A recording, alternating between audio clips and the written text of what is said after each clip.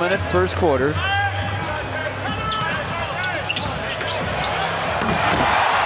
James Wiseman took off like a jet, a jumbo jet.